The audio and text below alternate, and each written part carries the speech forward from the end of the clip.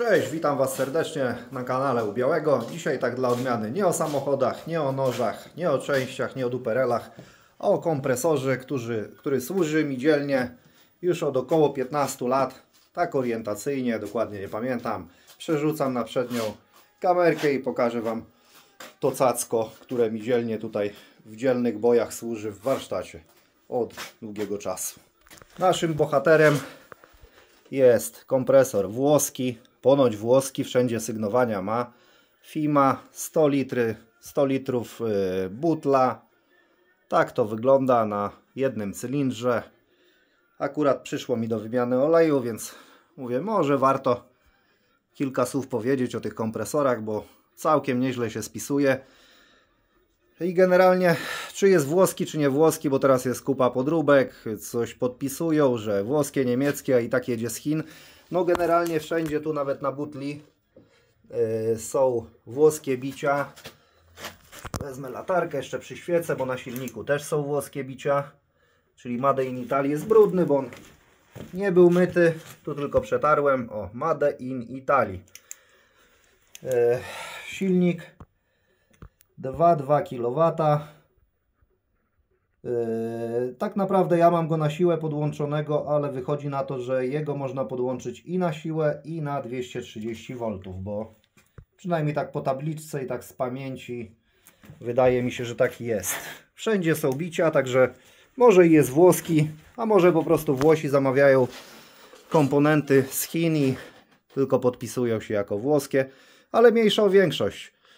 Generalnie chciałem powiedzieć, że właśnie ten kompresor fajnie się sprawuje, bo, bo mówię, służy dzielnie około 15 lat i co trzeba powiedzieć? Nie ma z nim problemów, jednakże wymieniam olej minimum raz, dwa razy, nawet bym powiedział dwa razy do roku. O tym trzeba pamiętać. Przy wymianie tego filtra, właśnie, znaczy filtra oleju, zawsze czyszczę ten filterek powietrza. On tu kiedyś mi coś popękał, to go pokleiłem. Yy. No i generalnie, co ja w nim robiłem, jak on służył. Przez te około 15 lat raz czy dwa razy naciągnąłem pasek, po czym po prostu, bo to było bezsensowne, chyba z rok temu go wymieniłem i już nic tam nie świszczę, bo nieraz zaczął, zaczynał piszczeć. E, coś tam się działo. Czyli pasek to był tam koszt, już nie pamiętam, 30 zł, czy jakiś, jakiś groszowy koszt. Więcej roboty niż to w ogóle warty ten pasek. No i co tu się jeszcze kiedyś wydarzyło? Generalnie z własnej winy yy, gdzieś tam tu trąciłem, bo on tak w przejściu stoi. Uszkodziły się te manometry, które wymieniałem.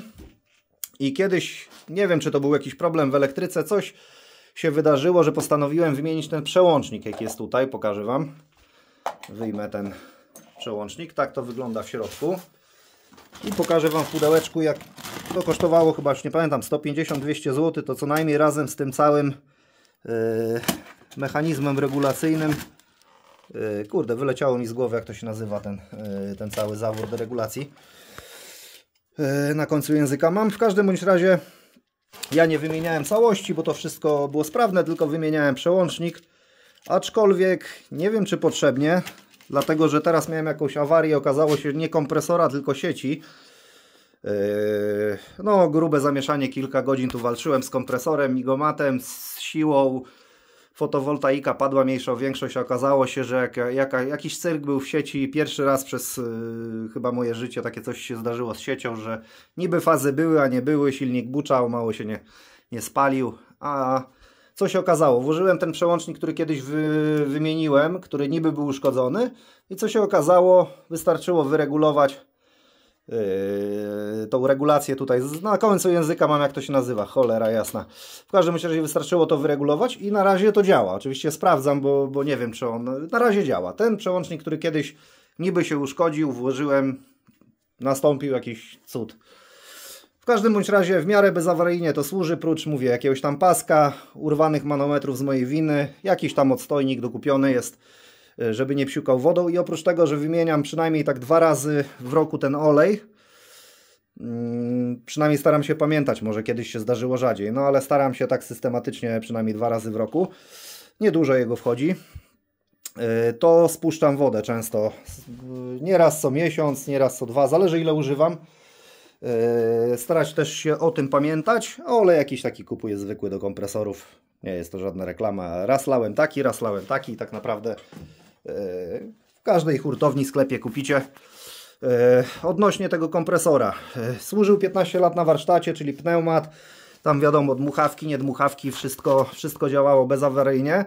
I od chyba ponad 5 lat od ponad 5 lat już jakimś piaskowaniem czasem się zajmuję. Na początku kupiłem pistolet taki osobny, później kupiłem taką małą piaskareczkę, no i jednak już przy, taki, y, przy takim jak to jest 100 litrów, przy tej główce tej wielkości, no to przy tym piaskowaniu już on musi cały czas chodzić, on już się męczy, poci i naprawdę jak od y, no, czasu do czasu się wezmę za te piaskowanie, to przez ostatnie te 5 lat to ten kompresor, co on dostał, to on tylko wie. Nie, niejednokrotnie chodził bez wytchnienia, prawie się nie wyłączał przez, nie wiem, 3 godziny czy nawet więcej, bo coś piaskowałem.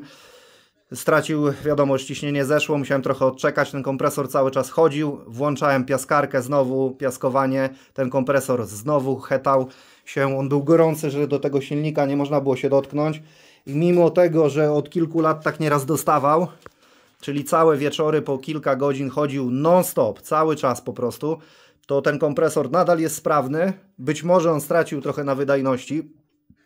Tego nie wiem, to trzeba było sprawdzić w warunkach laboratoryjnych, ale nadal służy dzielnie i naprawdę też od czasu do czasu cały czas nim piaskuję. Yy, nic się nie dzieje, chociaż rozglądam się właśnie za jakąś większą nawet główką, bo gabaryt mi pasuje, bo mi tu większy kompresor w tym momencie nie wchodzi ale większa główka może spowodowałaby, że on by mniej parkotał po prostu, nie? Ustawiłem go na 6-9 barów, czyli włączanie y, przy 6 barach, wyłączanie przy 9 i Wam pokażę jak to wygląda, tylko przyświecę, albo może widać w miarę. Y, I tak, ta śrubka, czyli ta większa, służy do regulacji ciśnienia, do jakiego kompresor ma dobić. Czyli jak ją w prawo kręcimy, tą śrubkę, to kompresor y, wyłączy się przy większym ciśnieniu, czyli jeżeli będzie 8 barów, przekręcicie, nie wiem, obrót, jeden to wyłączy się przy 9 barach. Druga śrubka, ta taka ze sprężynką, służy do, yy, służy do yy, tego, kiedy kompresor się yy, nam uruchomi, czyli przy jak niskim ciśnieniu. I tutaj czym, czym więcej wkręcimy, z tego co pamiętam, no nie chcę oszukać, no. Gdzieś to y, też widziałem w internecie, gdzieś to ktoś też pokazywał.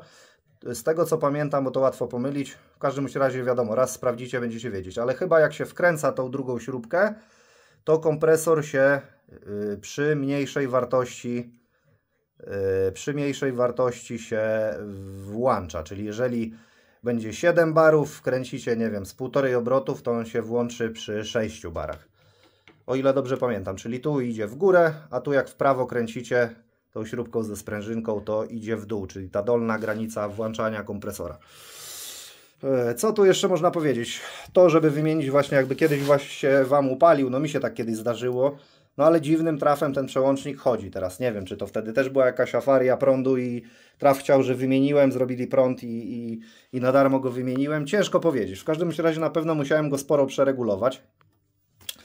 I pokażę jak on wygląda. Y, wymieniamy go jak powietrze jest spuszczone, czyli spuszczamy powietrze, żeby tam taka dźwigiemka się yy, chyba podniosła.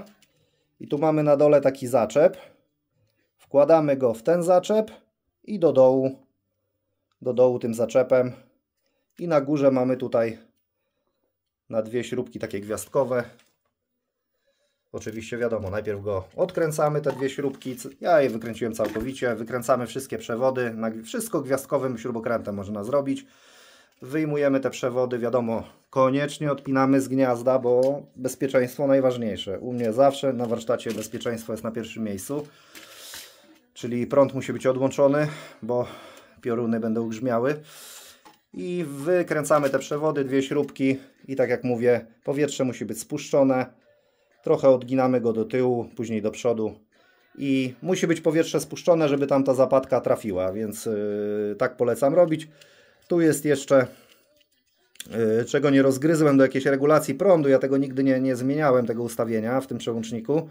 To jest do jakiegoś dopasowania się sieci prądu z silnikiem, bo to jest uniwersalny taki przełącznik. Yy, jak będzie u mnie taki elektryk, hobbysta, który te tematy zna, to tak z ciekawości się zapytam dokładnie, do czego to służy, aczkolwiek tego nie, nie ruszałem. No i co jeszcze mogę powiedzieć? No, generalnie polecam ten kompresor i te włoskie kompresory. To jest oczywiście główka, yy, główka normalna rzędowa, czyli jednocylindrowy kompresor, tak jak kiedyś były w naszych polskich vanach. Dobre kompresory, kiedyś robiłem w takim wanie E, remont generalny i też koledze zrobiłem ten remont generalny też pewnie około 15 lat temu i ten kompresor van, który jest po moim remoncie spod mojej ręki, chodzi do tej pory też bezawaryjnie. E, do tego, do tych włoskich kompresorów, bo tu mamy w niedalekiej miejscowości, w Zielonce, hurtownie właśnie z kompresorami, z serwisem i tak dalej. W dalszym ciągu dostępne są części, podzespoły y, do tych kompresorów. Prawdopodobnie można właśnie zmienić sobie y, nawet na większą główkę, bardziej wydajną. Także z tym nie ma problemu. Na pewno przełącznik kupiłem od ręki, na nic nie musiałem czekać. Także z częściami nie ma, nie ma problemu. Z silnikiem też nigdy nie było problemu, mimo że y, jak były te jakieś zwarcia w sieci i tak dalej, to on trochę się zagrzał, bo trochę pobuczał. Nic mu się nie stało. No co, spuszczamy wodę często, wymieniamy olej często, ten filterek raz na kurde 10-15 lat wymieniamy ten pasek i kompresor nam służy i myślę, że będzie służył jeszcze wiele, wiele lat. Być może zmienię na tą bardziej wydajną główkę, żeby mi nie parkotał, bo, bo mówię, no będzie pewnie szybciej nabijał i, i będzie wydajniejszy, ale nie spieszy się, nie pali, na razie działa. Yy, no i co, nie polecam na pewno kompresorów z mojej przynajmniej wiedzy, tych takich wynalazków, co mają po 2-3 cylindry, jakieś takie naboki, fałki, jakieś takie gwiazdy, rozgwiazdy. Słyszałem o nich negatywne opinie, także yy, aczkolwiek może być inaczej. Jeżeli macie taką wiedzę, to, to chętnie, chętnie się dowiem.